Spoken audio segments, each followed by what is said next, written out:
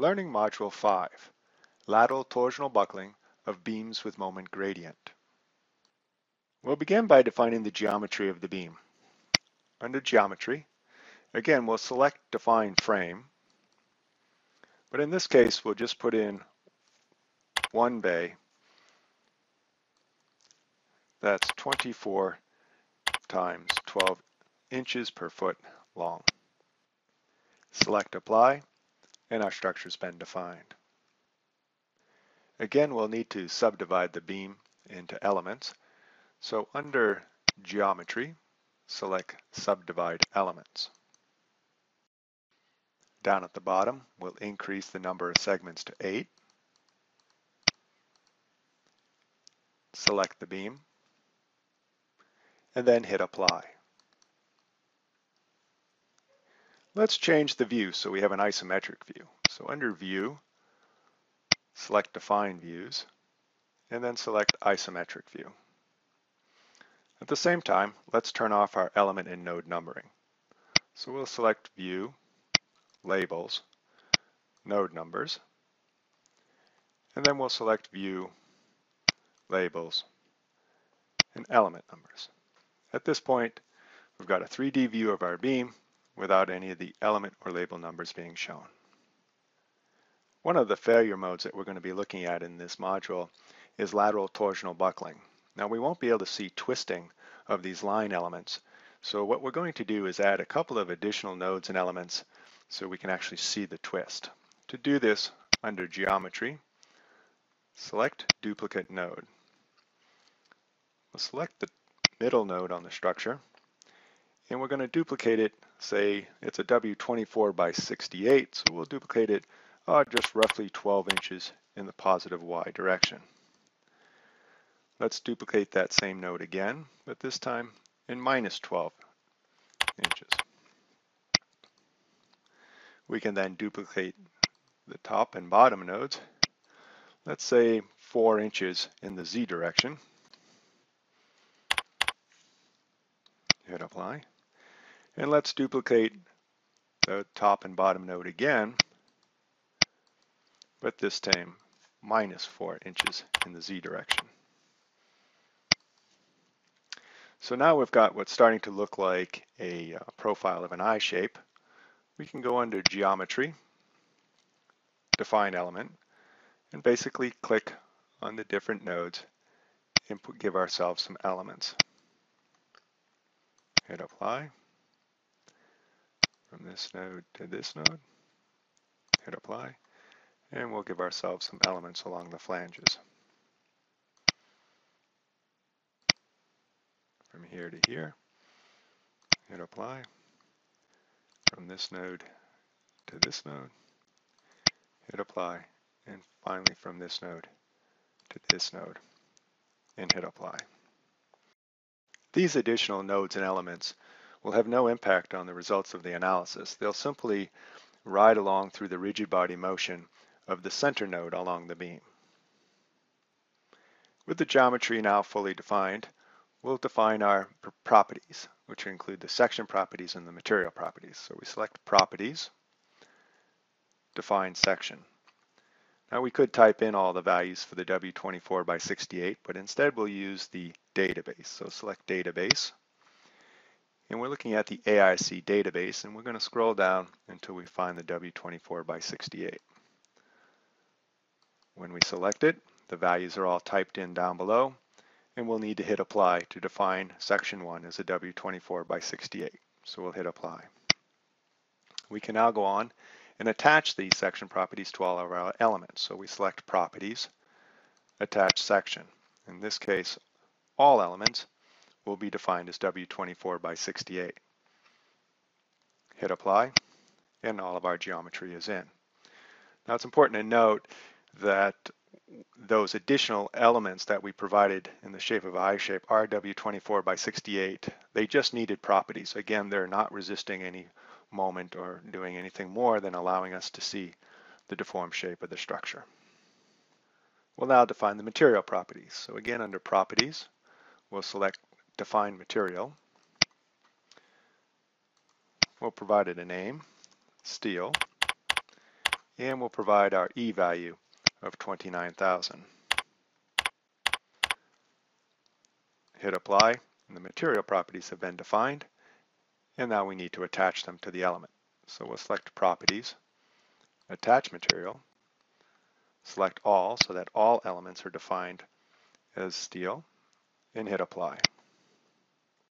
Our next stop is to define the boundary conditions. We'll start by defining the support conditions. So under conditions, select define fixities. We are doing a 3D analysis here. So at the left end, we'll restrain the X, Y, and Z rotation. And we'll also need to restrain torsion, which will be about the global X axis. So that's what's going on on the left node that I select, hit apply, and that boundary condition's been defined. We clear the list. On the right end, we'd like to just have a roller in the X direction. So we'll release the X displacement. We'll leave Y and Z in rotation about the global X restrained. Select node 2, hit apply, and the boundary conditions for our structure have been defined. Next, we'll put on the applied end moments. So under conditions, select define moments. On the start node, the beginning of the element, we're going to put on a moment about the global z-axis of, let's say, minus 1000. Hit apply, and that moment is on. Clear the list. And on the other end of the beam, say this node, we click on it, we're going to actually put an equal and opposite end moment. So instead of using minus 1000, I'll change it to 1000 and hit apply. So we now have a beam that's subject to uniform bending with equal and opposite end moments at each end. The pre-processing is now complete and we'll go on and perform the analysis. So under analysis, we're going to do an elastic critical load or buckling analysis. So we'll select elastic critical load. We are going to do a space frame analysis, again a 3D analysis, and all we really need to see is the first mode. So we'll select apply and the analysis is complete. We can now view the results of the analysis by going under results, diagrams, and selecting deflected shape. We'll simply hit apply and we can see the deflected shape. Looking at the deflected shape, we can see that the beam has moved laterally, that is in the Z direction, and it has twisted. So this is a clear case that the beam has failed in lateral torsional buckling. The force or moments that it took to do uh, can be defined by looking at that applied load ratio up at the top of the screen. You'll note that the value is 2.265. If we multiply that by 1,000, that's how much kips inches of moment we had on each end, we can conclude that the elastic lateral torsional buckling moment for this beam on a uniform moment is 2,265.4 kip inches. It's important to note that this value of 2,265 uh, inch kips is significantly less than the theoretical elastic lateral torsional buckling moment. The reason for this is our model did not include warping resistance. So there is warping resistance to torsion that this model currently does not include. What we're going to do now is we're going to go back and modify the moment, or modify the beam to include this warping torsion. To do this, we'll go back to geometry and define connections and we'll select torsion.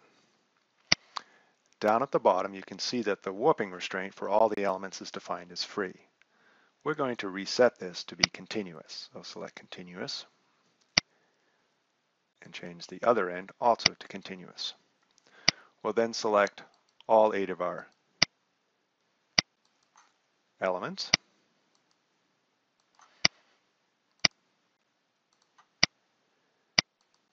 And then hit apply. The warping uh, restraint has now been defined as continuous along all of the elements. We'll now go back and perform the analysis again. So select Analysis, elastic critical load. We're going to be doing a space frame, looking for one mode. Hit apply, and the analysis is complete. And again, we'll go back and take a look at the results.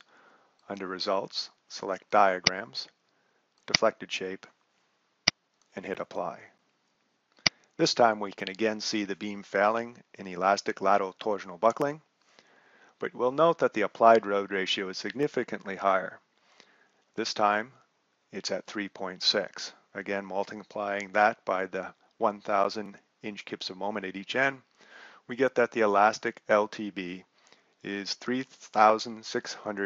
3,601.8 inch kips, which is significantly higher than the value before that we had at 2,265.4. And again, the difference for this is that we've now properly accounted for warping restraint that's provided along the membered length. One of the objectives of this learning module is to see what happens when the beam is not subject to uniform moment. To do this, we'll need to go back under Conditions and select Define Moments. So what we're going to do here is redefine the end moments. We'll leave the left end of the beam at 1,000 and let's change the right end of the beam.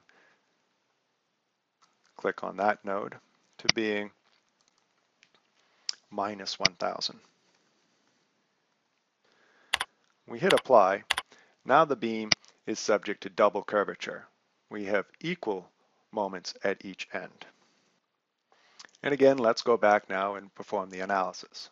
So select Analysis, Elastic Critical Load. We'll leave the settings Space Frame in one mode, hit Apply, and the analysis is done. Let's have a look at the results. Under Results, Diagrams, Deflected Shape, and hit Apply. In this case, we can see that the beam is now failing a little bit different. We've got quite a bit of twist in the center, but hardly any lateral movement but we do have lateral movement along the length of the beam. Of importance is that the applied load ratio has now gone from 3.6 to 9.8. So for this case, the elastic lateral torsional buckling moment would be 9.8 times the 1,000 or 9,838.5 inch kips. This concludes learning module number 5.